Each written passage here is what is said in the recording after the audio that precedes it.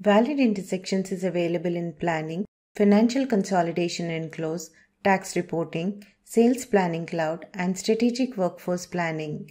Let us take a look at valid intersections in planning. Restrict the data intersections valid in your application by creating a valid intersection group that contains one or more valid intersection rules.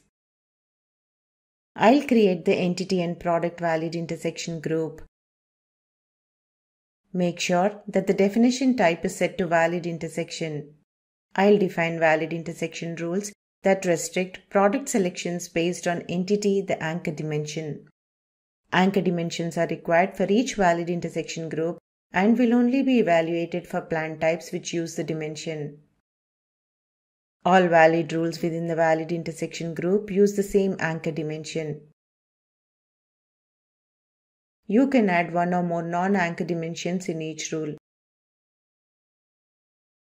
You can choose members individually, use function selector or search for members. I'll select members for the anchor dimension. Next, I'll select members for the non-anchor dimension. In this example, I created a rule where all members under total products are valid for the sales entity. By default, unselected members are valid option is selected.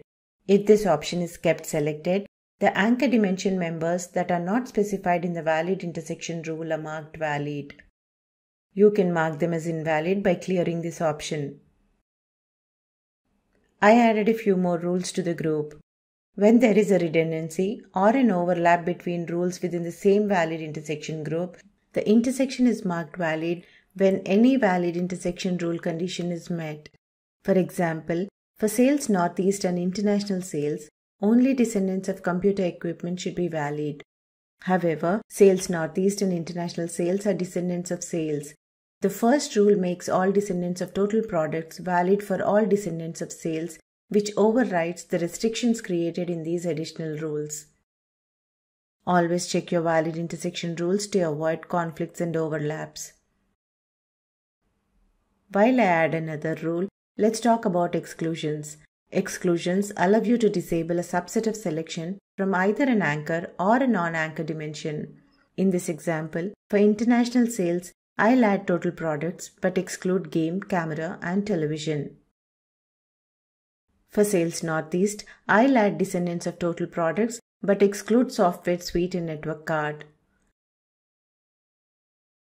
You can enable or disable valid intersection groups.